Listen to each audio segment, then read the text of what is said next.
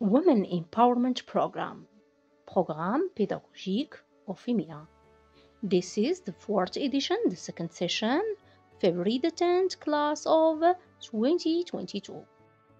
The program is about education in the global context and leadership skill, SDGs and global citizenship, and media information literacy, innovation in teaching, and gender and inclusion in the classroom.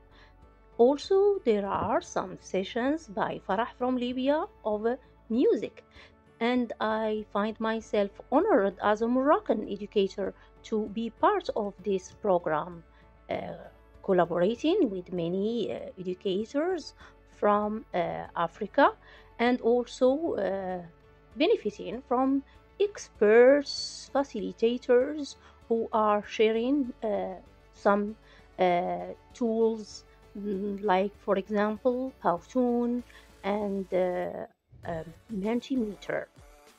So the program uh, goals are increase female leadership capacity, increase girls' access to digital learning, and address health and education barriers impacting girls in their communities.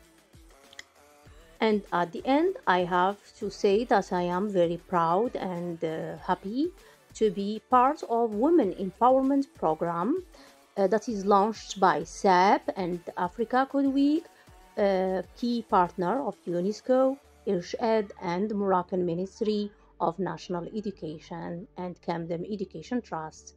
Goodbye and thank you for watching this video.